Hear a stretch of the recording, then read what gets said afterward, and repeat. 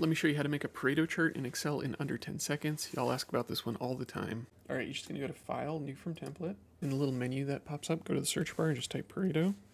And it's just gonna open your chart right up and you can fill it in with whatever data you want.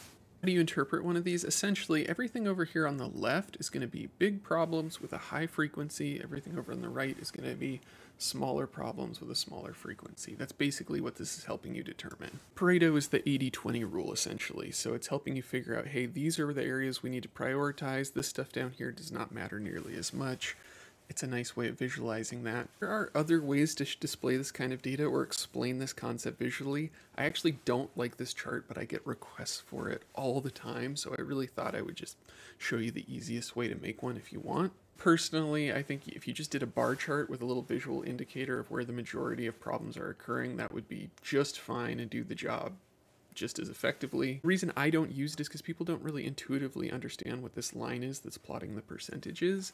So you have to do a layer of explanation for most of the people looking at the chart, which frankly is not ideal. Uh, what you're trying to get across is a very simple insight, and you can do that literally with just a visual indicator or highlighting a particular section, in my opinion. You don't have to do it that way. Use the chart if you want to, or if you have an audience that's familiar with and understands the chart, then perfect, use it. That's an ideal cir circumstance for it.